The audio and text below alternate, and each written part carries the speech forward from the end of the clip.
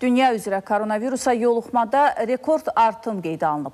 Dünya Səhiyyə Təşkilatının həftəlik bültenində belə deyilir. Məlumata əsasən son bir həftə ərzində dünyada 21 milyondan çox insan koronavirusa yoluxub, 50 minədək insan isə virusun qurbanı olub. Ötən həftə ilə müqayisədə yoluxma hallarının sayı 5, ölüm hallarının sayı isə 1% artıb.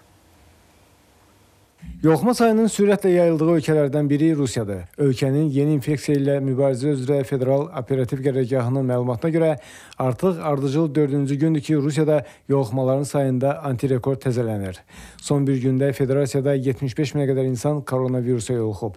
Təkcə paytaxtda yoluxanların sayı 20 minə qədərdir. Ümumilikdə isə Rusiyada koronavirusa yoluxanların sayı 11 milyon 315 min 801 nəfər təşkil edir. 328 mindən çox koronavirus xəstəsi isə dünyasını dəyişib. Onlardan 657-si dünən vəfat edib. Gürcüstanda da antirekord hər gün yenilənir. Hökumətin məlumatında qeyd olunur ki, son sutka ərzində 17530 nəfər COVID-19 virusuna yoluxub. Yoluxanların əksəriyyəti paytaxt Tbilisi sakinləridir. 9487 nəfər. Ümumilikdə isə Gürcüstanda 1 milyon 92684 nəfər bu virusun daşıyıcısı olub. Onlardan 14813 nəfəri epidemiyanın qurbanı olub. 39 pasiyent dünən dünyasını dəyişib.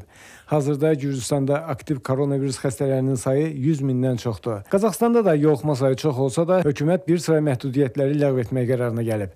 Buna səbəb yoluxma tempinin sabitləşməsi yox, iqtisadiyyatı dirçətmək istəyidir. Səhiyyə naziri Ajar Ginyatın sözlərinə görə bu təşəbbüs kiçik və orta biznesə dəstək məqsədi ilə prezident Qasım Comart Tokay tərəfindən irəli sürülüb. Qeyd edək ki, hazırda 19 milyon nəfərdən ibarət olan Qazaxstan əhalisinin yalnız 9 milyonu tam vaksinasiyadan keçib. Bir sıra sahələrdə bu şəxslər üçün məhdudiyyət tələbi yoxdur. Bəxtiyar Fətullayev, ATV xəbər.